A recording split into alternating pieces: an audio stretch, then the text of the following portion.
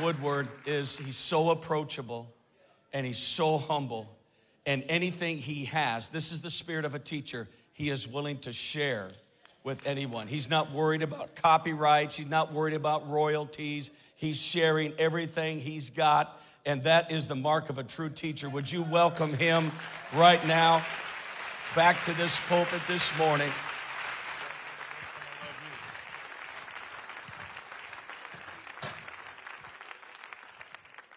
I am so very grateful for this meeting and for all of you.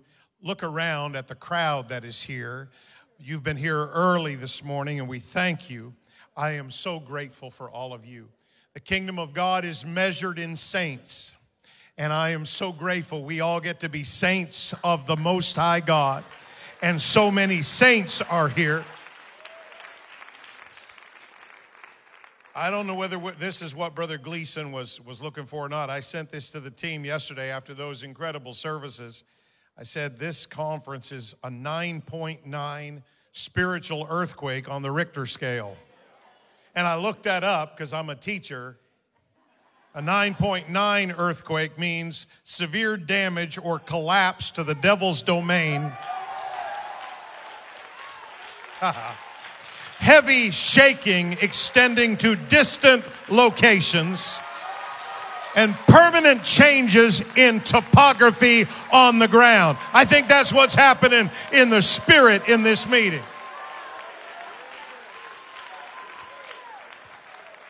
Bishop Cunningham just leaned over and said that uh, $36,000 plus has been given in the offerings here, not including anything online. That is an amazing offering from the people of God in this conference. I think we need to do what Sister Shaw was saying. If you need a miracle at home, if you need a healing in your body, speak it right now. Lift up your voice right now and speak it.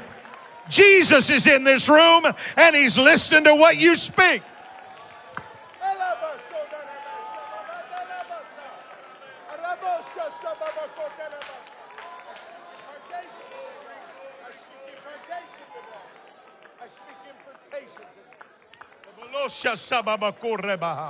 In the name of Jesus.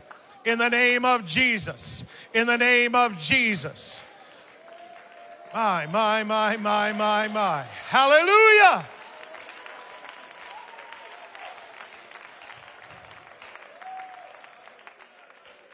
Go ahead and be seated. The book of Exodus opens with Moses seeing God's glory in the burning bush. And the book of Exodus closes with God's glory descending upon the camp of Israel and filling the tabernacle. You see, for the nation of Israel, God's glory was not a luxury, it was an absolute necessity. The Shekinah glory of God, it rested between the golden cherubim on the mercy seat in the Holy of Holies. But not only that, it directed them on their wilderness journeys through the supernatural manifestations of the pillar of cloud and the pillar of fire. Not only that, the glory of the Lord would at times move into place to defend them when their enemies attacked. And mostly, the glory of God set them apart from all other nations whose temples were vacant and empty of glory. But the nation of Israel would never have experienced the glory of God had it not been for a leader named Moses who hungered to see that glory revealed. He was a faithful servant, according to Hebrews 3, and he was the meekest man on earth, according to Numbers 12. He was also the greatest deliverer in Israel's history, according to Acts 7. And the reason is that when the time came, he refused to be called the son of Pharaoh's daughter. He chose to suffer affliction with the people of God. He rejected the chance to enjoy the pleasures of sin for a season, and he esteemed the reproach of Christ greater riches than all of the treasures in Egypt. And that's why, before the glory of God ever descended upon God's people, or before the Shekinah ever filled God's sanctuary, God's glory had already overshadowed God's man. Moses spent 40 days and 40 nights in the presence of God on Mount Sinai. Moses fasted for Israel for another 40 days and 40 nights after they sinned with the golden calf. Moses was the man who made this bold request of the Lord I beseech thee, show me thy glory. And that bold prayer was answered 1500 years after his death when Moses was chosen to appear with Jesus in his divine glory on the Mount of Transfiguration. That's pretty impressive. So Moses had a unique calling that set him apart from everyone else. Moses climbed that mountain more times than anyone else. Moses had a face to face relationship with God, unlike anyone else. And over time, Moses spent so much time inside the glory cloud of God's presence that he didn't even realize that he had absorbed some of the Shekinah. Exodus 34 and 30. And when Aaron and all the children of Israel saw Moses, behold, the face, the skin of his face shone, and they were afraid to come near to him. Because the glory of God rested upon him, the people were afraid to go anywhere near Moses. He coaxed them to come close long enough to share what God had said. But as soon as he finished, he covered up his shining face with a veil. And that became Moses' custom. He would remove the veil when he was in God's presence. Then he would come out, and Israel would get to see God's glory for a moment. And then Moses would cover up his face again. Verse 34 But when Moses went in before the Lord to speak with him, he took the veil off until he came out. And he came out and spake unto the children of Israel that which he was commanded. And the children of Israel momentarily saw the face of Moses, that the skin of Moses' face shone. And then Moses put the veil upon his face again until he went in to speak with him.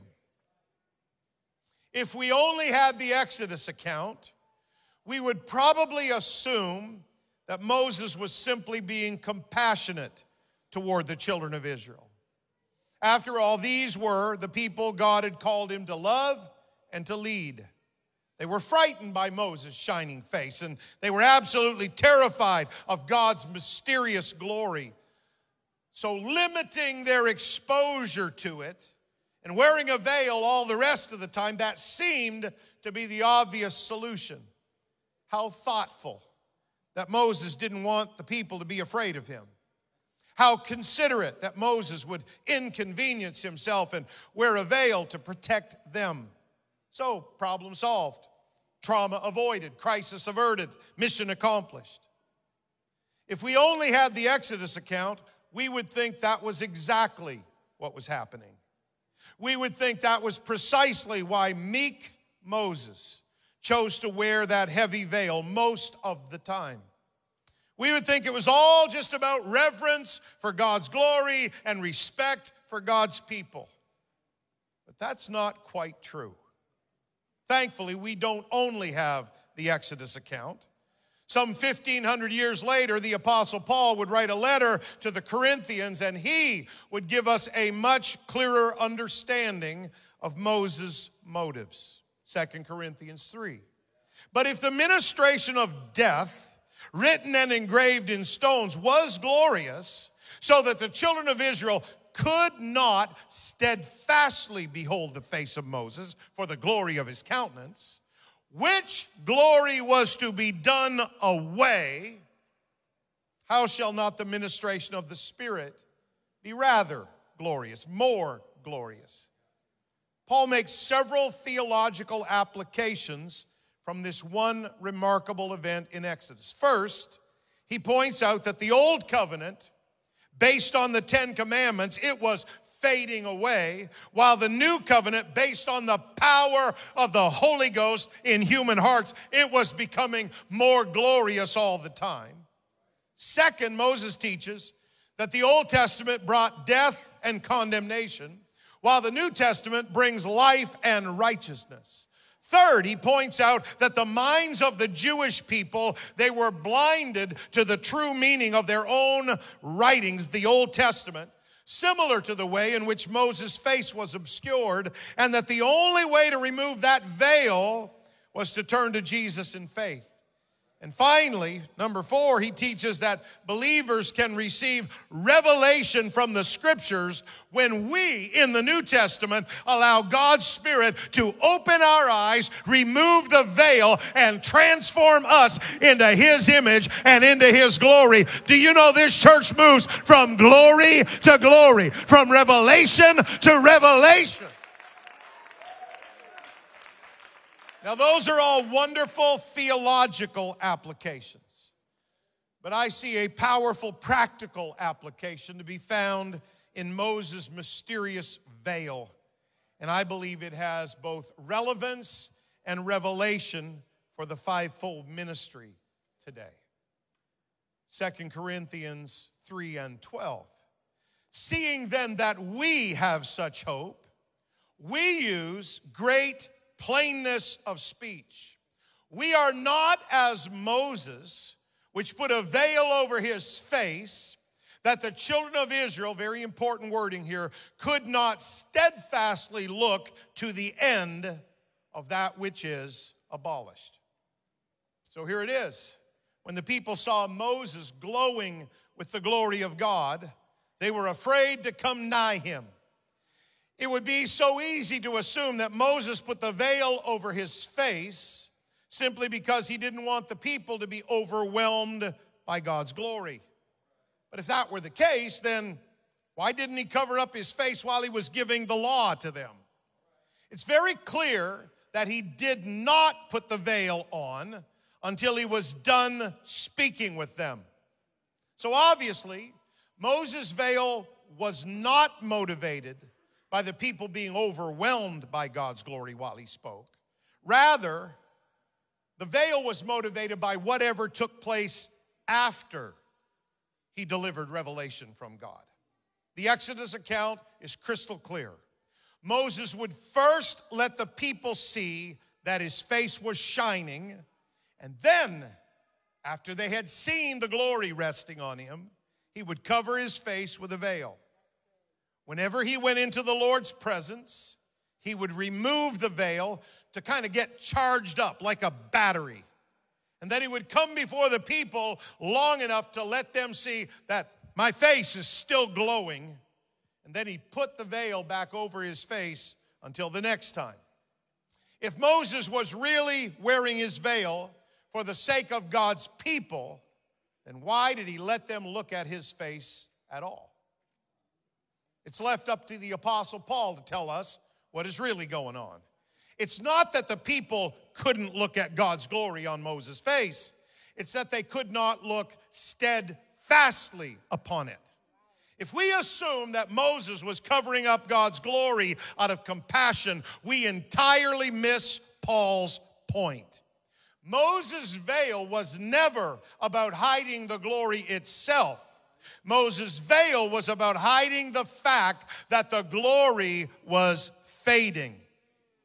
Moses didn't want the people to see that he didn't shine all the time. He didn't want them to realize that he couldn't receive God's revelation continuously. He didn't want them to perceive that he couldn't preserve God's presence perpetually. And he certainly didn't want them to know that he didn't always glow with God's Shekinah glory in private the way he did while he was ministering to them in public. Why did Moses wear a veil? Not because he was scaring the people, but because the glory that rested on him, it kept fading away. It couldn't be sustained indefinitely because he was just flesh. It appeared in those special moments when God wanted to use him sovereignly, but then it would disappear just moments afterward, leaving him ordinary like everybody else. And who wants to follow a leader that's just ordinary? A leader who keeps losing his glory every once in a while. So Moses would go into the tent of meeting to talk with God, and the glory would return and rest on him. And he'd come out quickly and speak with the people, and they'd behold the glory that rested upon Moses. But then he'd quickly put his veil on his face so that the people couldn't see the glory fading away. Moses wasn't trying to conceal God's glory, he was trying to conceal his own lack of glory. Even meek Moses hid behind a veil to maintain an appearance before the children of Israel that wasn't really quite true. He simply wasn't comfortable with the idea that the people he led might discover that he was in reality exactly like them, just as frail and faulty, just as fallible and fickle, just as prone to bad days and bad mistakes, bad decisions and bad moods just as susceptible to depression and discouragement, just as susceptible to rejection and resentment, just as vulnerable to impatience and irritability, temper tantrums, spiritual doldrums. He was flesh. He was exactly like them. You feel that? That uncomfortable feeling? Even meek Moses didn't want the people that he led to realize that there was sometimes a considerable distance between his reputation and his reality. Sometimes there was a significant competition between his fame and his family. Sometimes there was a major conflict between his spiritual visions and his physical limitations. Sometimes, sometimes there was a painful fracture between the faith he spoke and the fear he felt. Only Moses knew that sometimes there was a great gap between the ministry in public and the man in private. I am not saying that Moses was a sinner. I am not saying that Moses was hiding some terrible immoral sin. I am saying that Moses was a man and Moses hid from the people sometimes. They had no idea because Moses was very good at wearing a veil. Even meek Moses had gotten used to the idea of having people look up to him, cherishing his wisdom, applauding his leadership, marveling at his insight into the scripture, honoring his service to the people of God. It had become familiar to have people following his ministry and hanging on his every word and indulging his every whim and imitating his every move. It had become normal to see people around him competing for his approval and deferring to his opinions and submitting to his authority and being slightly in awe of him. Yes, Moses had become bigger than life in their eyes, and that's why Moses now had an image to protect and a ministry to preserve. And it's also why Moses, the meekest man on earth, even he became very, very good at wearing a veil. I say to you today. And again, I would say what I said yesterday. I stand in submission not only to the great bishop and pastor of this church, but to all of these leaders so anointed by God. And they are welcome to correct and direct. But I would say to you and submit to your spirit, just like Moses, all leaders are tempted to hide their fading glory.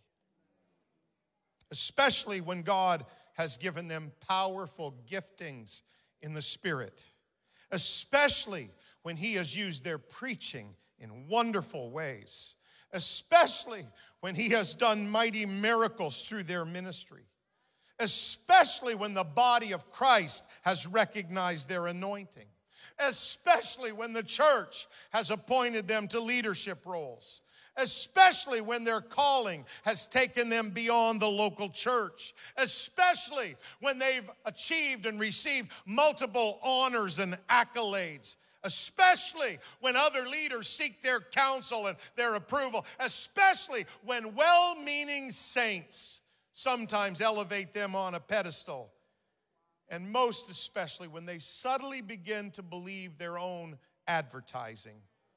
All leaders are tempted to hide their fading glory. But when leaders wear a veil like Moses, when they present a facade to hide their humanity, when they wear a mask to cover up all their imperfections, they inadvertently, unintentionally create a celebrity culture in the apostolic church. It is a culture that tells saints, don't you be honest about who you really are. It is a culture that inadvertently, unintentionally says only perfect people could ever be used by God. So I stand here to address you leaders today. 2 Corinthians 3:17. Now the Lord is that spirit, and where the spirit of the Lord is, there is liberty. But we all, with open face, beholding as in a mirror the glory of the Lord, we are changed into the same image from glory to glory, even as by the Spirit of the Lord. We love to quote and preach verse 17, where the Spirit of the Lord is, there is liberty, and we should. But be sure you read verse 17 in the context of Moses' mask. There's a veil over the face, there's a mask over the mind, there's a cloak over the heart with Old Testament ministry. The tabernacle and the temple were absolutely filled with veils, curtains everywhere to separate the people from the priests. But that's not true with New Testament ministry. We all behold God's glory with an open face. We are all changed into the image of Christ as we all move from glory to glory. In fact, I would submit to you, Jesus died so that the veil could be torn in two. What are you trying to say? I'm trying to say this. We don't need your best performance in the pulpit. We don't need your best mask in the ministry. We don't need you to pretend in front of the Pentecostal.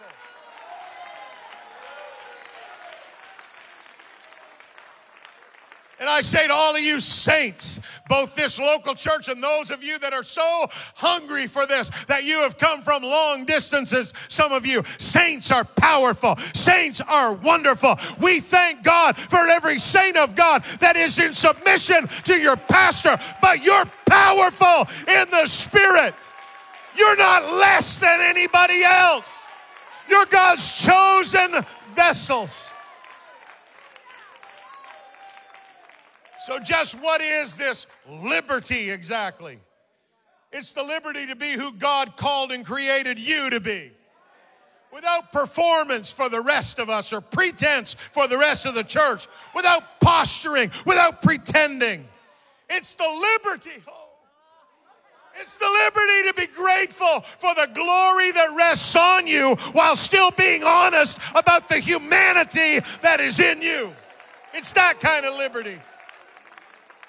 It's the liberty to have relationship with God because you're open face with Him. But it's also the liberty to have fellowship with others because you're open face with them. It's the liberty to have true unity in the body of Christ because we love each other, we need each other, we protect each other, and we serve each other. It's that kind of liberty. It is the liberty. It is the liberty to appropriately let others look behind the veil in your own life. I apologize. I was trying to be politically Pentecostally correct just then. It is the liberty. I'm going to take out the word appropriately because that's what we use sometimes. It is the liberty to let others look behind the veil in your own life. Here it is. Eh, you, you, you have no idea. Raymond Woodward from some little podunk town in eastern Canada. You can't even get out of there. Two flights a day. It's like crazy. Paul had a thorn in the flesh. The Fredericton airport is my thorn in the flesh. Two chances to get out, two chances to get back. That's it. Here it is. Uh, the honor to sit with these men is breathtaking to me. But the honor to sit with all of you is equally breathtaking to me. This is the body. With, with honor and respect, they're not the body. This is the body. We're all knit together. We are all able ministers of the New Testament. The glory of God rests on His church, not on a few people in a role in His church, but on His church. So here it is.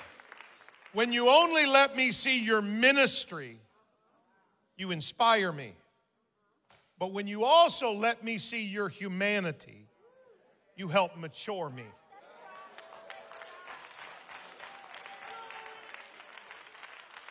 When you only let me see your strengths, you intimidate me. But when you also let me see your weaknesses, you motivate me. I think I can do it too. I can do that too. God can use me too. God's anointing can rest on me too. Fivefold ministry is not about you. It is about us. It is about this. Is it about it's about his church and his glory and his kingdom. Wrestle with this. Still wrestling with it, by the way. So, fivefold ministry. All of you leaders, you are not supposed to be loners. Fivefold ministry gifts are not to be shielded but to be shared. Fivefold ministry roles are not for the promotion of the individual, but for the propagation of the gospel.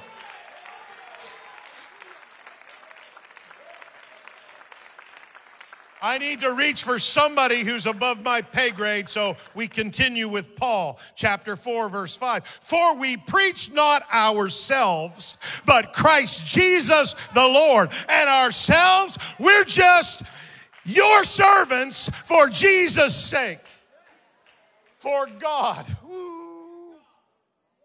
who commanded the light to shine out of darkness. Let me tell you what he's done in the New Testament. He's shined in our hearts to give the light of the knowledge of the glory of God in the face of Jesus Christ. That's what he's doing in his church. For the knowledge of the Lord shall cover the earth as the waters cover the sea. That's what he's doing in his church. So I submit to you, your face should not be veiled. Why? Because your face is the face of Jesus to others. That's why it should not be veiled.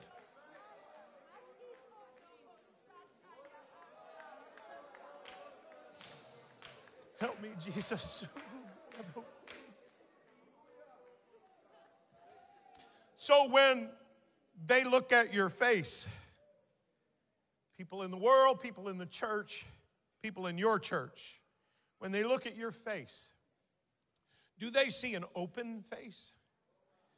Do they see an encouraging face? Do they see a face filled with approval? Do they see a compassionate face? Or do they see a closed face? An unattainable face?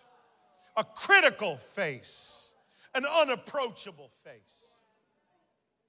Do they see Jesus' face in your face?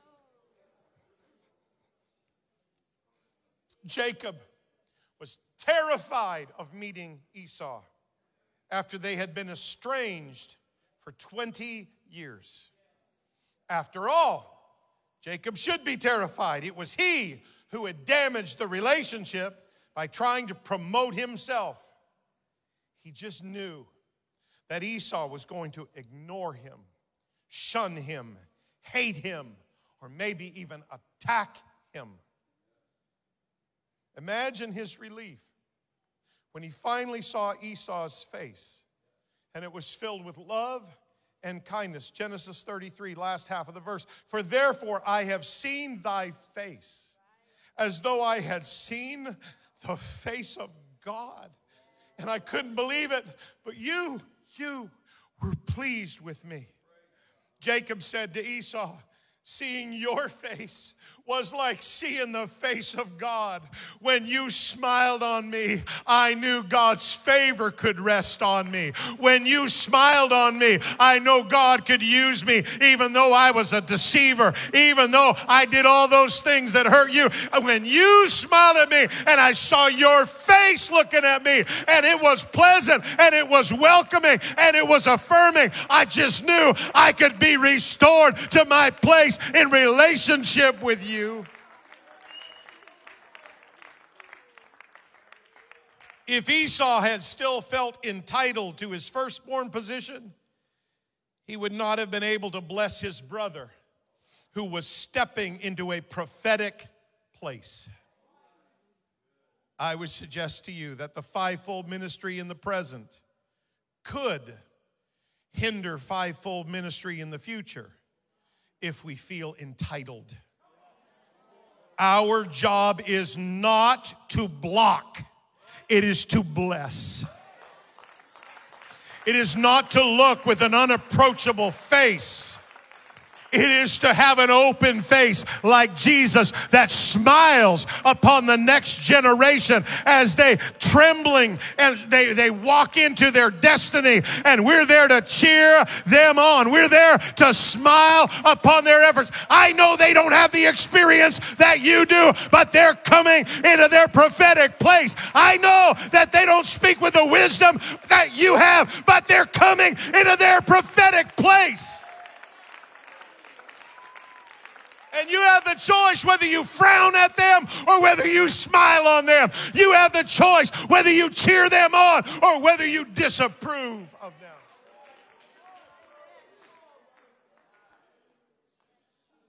They passed you a cup. I'd like you to take it in your hand for a moment. Simon Sinek, not a Christian to my knowledge, not a pastor. He tells this powerful story in a book called Leaders Eat Last. And he says, I heard a story about a former undersecretary of defense who gave a speech at a large conference. He took his place on the stage and he began talking and sharing his prepared remarks with the audience. He paused to take a sip of coffee from the styrofoam cup he'd brought on the stage with him. And then he took another sip and he looked down at the cup and he smiled. You know, he said, he interrupted his own speech. I spoke here last year. I presented at this same conference on this same stage. But last year, I was still an undersecretary. I flew here in business class, and when I landed, there was someone waiting for me at the airport to take me to my hotel. Upon arriving at my hotel, there was someone else waiting for me. They had already checked me into the hotel. They handed me my key. They escorted me up to my room. And the next morning, when I came down, there was somebody already there waiting in the lobby to drive me back to this same venue where we are today. I was taken through the back entrance. I was shown immediately to the green room, and I was handed a cup of coffee in a beautiful ceramic. But this year, as I stand here to speak to you, I am no longer the undersecretary. I flew here in coach class. And when I arrived at the airport yesterday, there was nobody there to greet me. I took a taxi to the hotel, and when I got there, I checked myself in. And I went all by myself, lugging my suitcases up to my room.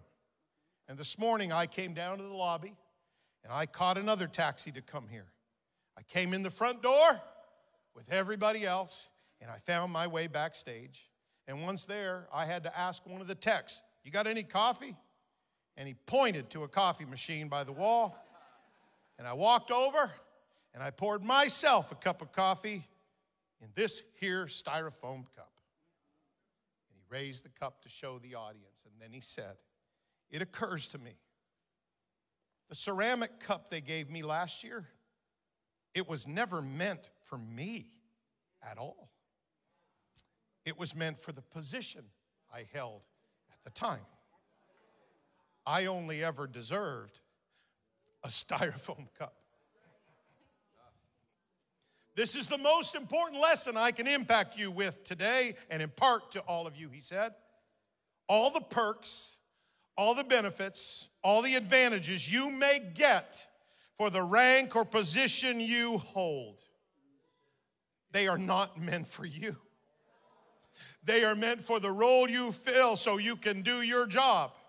And when you leave your role, which eventually you will, they will give your ceramic cup to the person who replaces you, and that will be okay because you only ever deserved a styrofoam cup.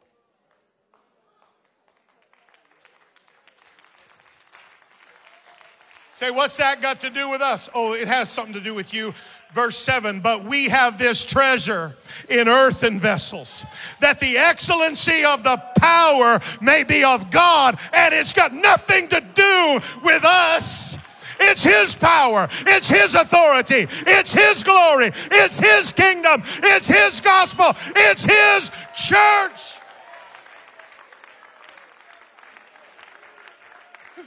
Oh. Lift up your voice and worship Jesus for a moment.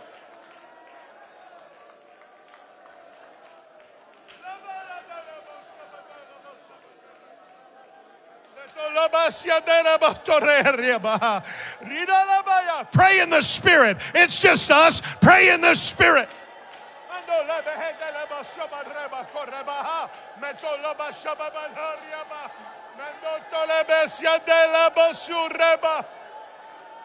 Irele Abosiaba.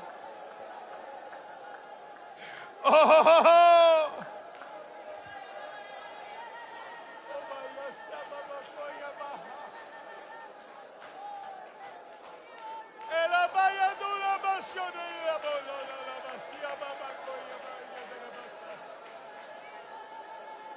Irabaya de la rabaya sababoko.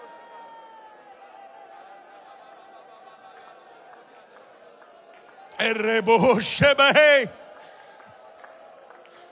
Oh. Hey, ababo shababakari abasa.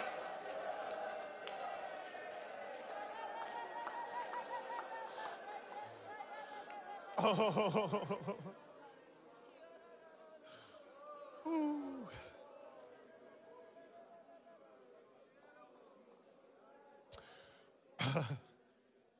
we have this in earthen vessels.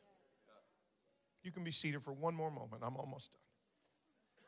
We carry the Holy Ghost, we carry the gifts of the Spirit, we even carry the fivefold ministry in fragile containers. Yes, there may be seasons of your life when the glory of God rests upon your giftings and your ministry with all the celebrity of a ceramic cup. And God's sweet people, because they have been blessed by the gift, they may inadvertently, accidentally, unintentionally glorify the vessel I speak to the fivefold ministry today. Don't ever let it go to your head. Don't ever let it get in your heart because all the glory and all the honor and all the excellency of the power belongs to God alone and not to you and not to me and not to us. It's His glory.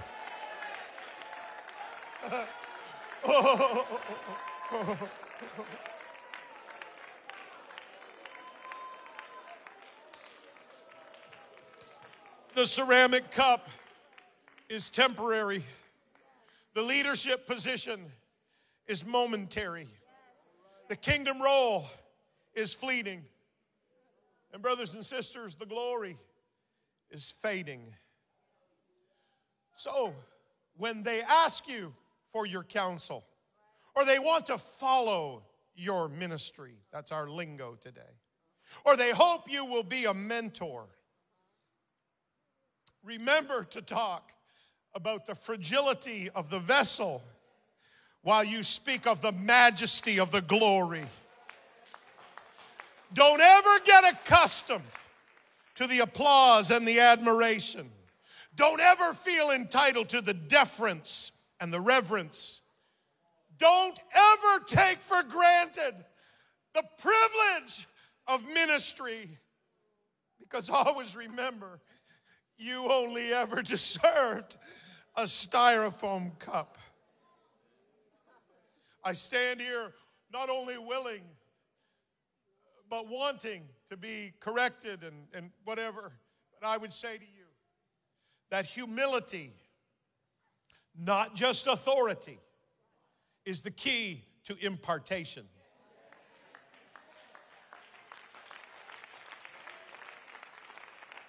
When you only let me see your authority, oh, yes, you'll challenge me. But when you also let me see your humility, you change me. There have been so many spectacular spiritual moments in this meeting. I have been enthralled and encouraged and changed and challenged by all of them. But the moment that changed me the most was when Bishop was talking about his uncle Billy Cole laying his head on the floor in the altar on top of his head.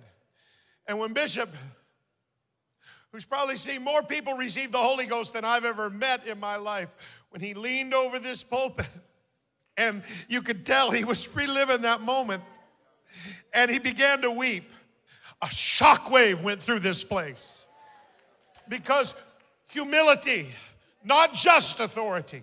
Humility is also the key to impartation. Because in that moment I thought, oh God, if I can just get a hand, if I can just get a ministry to cover me, if I can just get some, I'll submit to him, Jesus. Just let it be. Just let it be. He, he, he encouraged me. He helped me. He ministered to me. He lifted me. He changed me.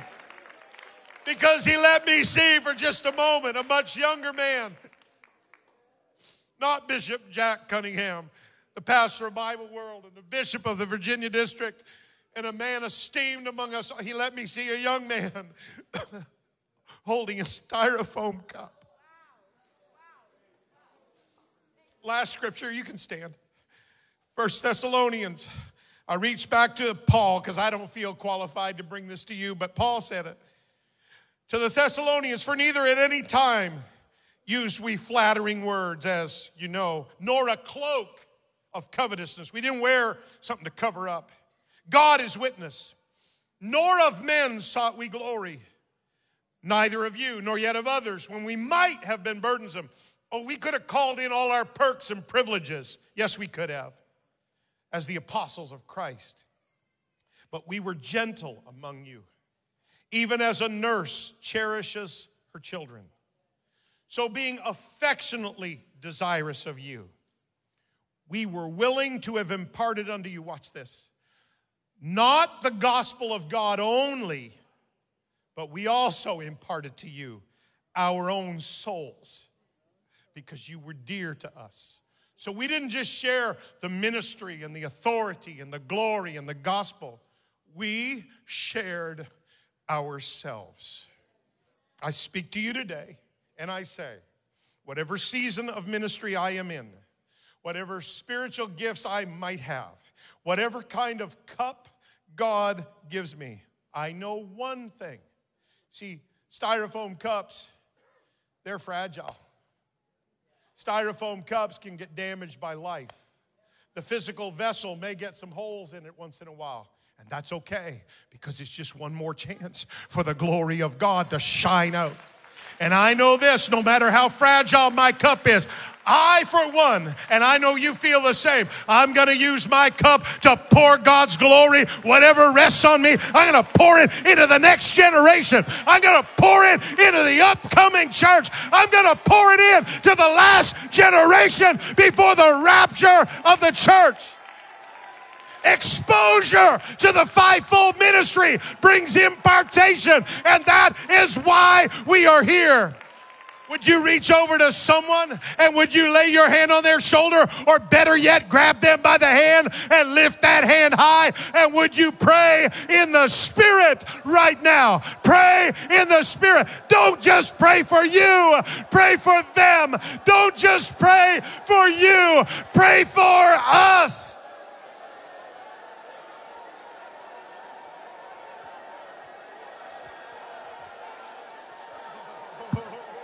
Oh, oh yes.